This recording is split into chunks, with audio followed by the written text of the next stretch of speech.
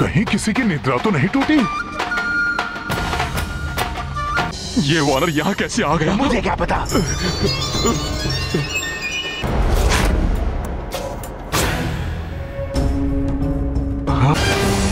आपके प्रयास करने के बाद भी, यदि कोई अधर्म और पाप कर्म ना छोड़ रहा हो, वो अपना ही क्यों ना हो, उसे त्याग देना चाहिए।